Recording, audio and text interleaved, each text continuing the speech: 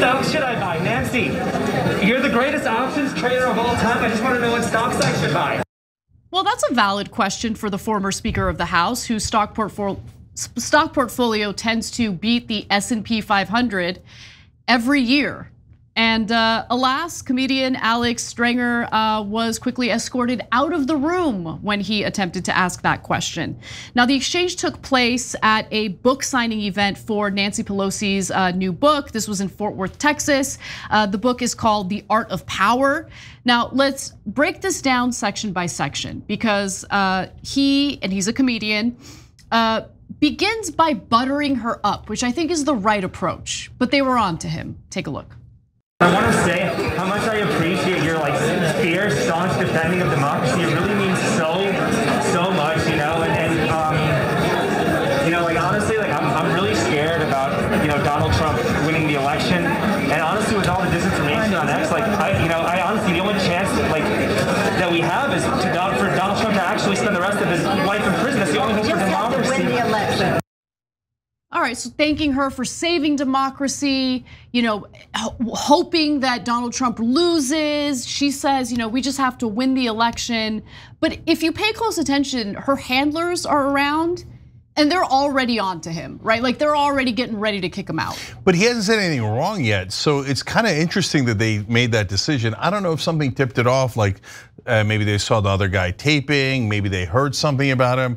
But even if you get close to anyone in power, mm -hmm. they get nervous, right? They they're do like, get nervous. Yeah, they're like, wait, wait, wait. Do you have a five thousand dollar check? You don't even have a five thousand dollar check. Why are you talking to me? Yeah, why are you talking? To me? Even if you're saying nice things, come on, move on. Get this guy out of here. Okay, but but in this case, by the way, to be fair, the handlers they were right. He was going to troll it. Yeah, that that is true. So I guess they had good instincts, but I also have to give him credit because he came correct. He wrote the he wore the appropriate disguise. Mm -hmm. I think maybe the Bernie hat he could have done without because oh that'll turn her off yeah exactly yeah. exactly but he did wear a t-shirt let's take a look at it it was the white dudes for harris t-shirt yep and he wore the mask and he's a little over the top because he did every stereotype i know he did right? it's amazing okay so what happens next well take a look we do. Well, Nancy, listen. Um, well, well, sure. What, what, last question. What stocks should I buy? Nancy, you're the greatest options trader of all time. I just want to know what stocks I should buy. But I just want to know, like, income inequality is their biggest concern. Already. The income in an institution of white supremacy and racism. I, I don't understand why they're even here at all. They should be defunded. I, I, just want to know she makes six figures a year in Congress and has a hundred million dollar net worth. Don't y'all want to know what stocks you should buy? Come on. No, no way. No way. I just want to know. I just want to know what stocks to buy. Yeah. I want to close the wealth gap. What's the problem? No way. I just want to close the wealth gap. Nancy Pelosi, keep the greatest options. I, I, I enjoyed that. I, I look, I know that this isn't a persuasive argument for people who support, you know, Nancy Pelosi or the Democratic Party overall, right? I get it. Like the oh, they're being hypocrites argument never persuades anyone. But I do think he makes a good point, right? You say that you care about income inequality, but why are you a trading individual stocks uh, that you might have like info on in closed door briefings that the rest of the public isn't privy to, thus insider information. And also, you're a member of Congress trading individual stocks. That means you get to make decisions on legislation that could either hurt or help the bottom line of these companies that you're trading stocks of.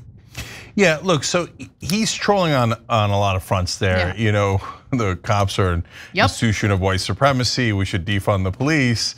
Uh, so that's a nice little trolling uh, thing, but I, it was I to me it never got offensive. He never said anything Agreed. where I was like, "Whoa, whoa, that's out of bounds," right? Uh, and then talking about closing the wealth gap. Come on, let's be honest, that's a little funny, okay, it, in this context, yeah. right?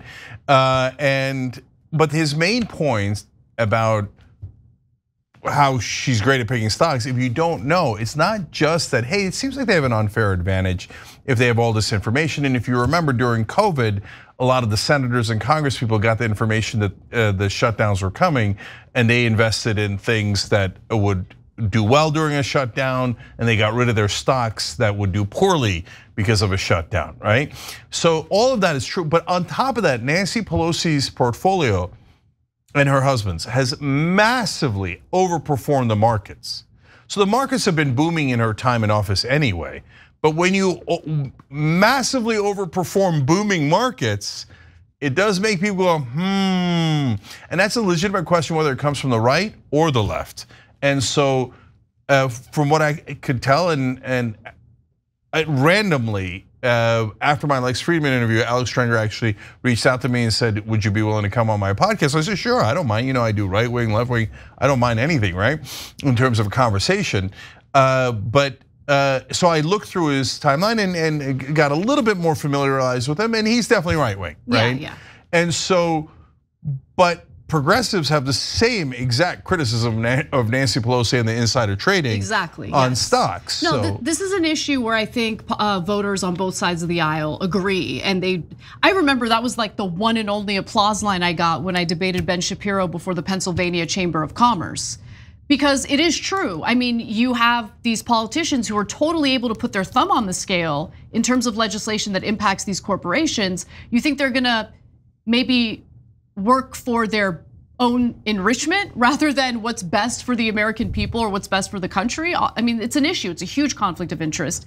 And by the way, my favorite Nancy Pelosi moment uh, when it comes to this specific issue was when she was asked about it during a press brief briefing and she got real salty about the notion of doing something about it. Let's watch. Should members of Congress and their spouses be banned from trading individual stocks while serving in Congress? No, I don't know to the second one.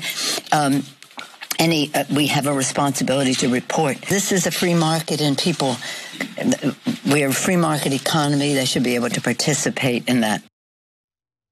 Oh, and you participate, Nancy. You participate every day, and you do it well.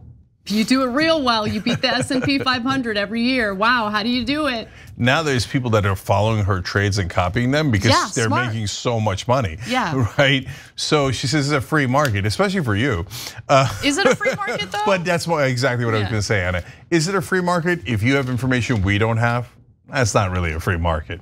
And again, that's not just about Nancy Pelosi. And again, the real issue here is that it's not a crime. It's not illegal for these politicians to have this information that the public doesn't have and then trade based on it. And so the only rule they have is they have to report their trades. Okay, yeah, but you still profit off of them, and there's no accountability. You could report, yeah, I made a thousand times the market, she didn't, but you, could even do that, and everybody's like, oh, great, thanks for reporting it. Okay, yeah, so I, that's not a thing. That policy barely has any teeth either because uh, I remember doing a story about how bunch of members of Congress weren't even fulfilling that you know that requirement of reporting. Yeah, because they go to the ethics committee. The ethics committee is filled with people who are doing the same thing. Yeah, exactly. The ethics committee in Congress is a joke. It it's really a hilarious is. joke. But look, last thing is for the folks online. I get it. He was trolling, and you guys are like, "Boo, get him out of here."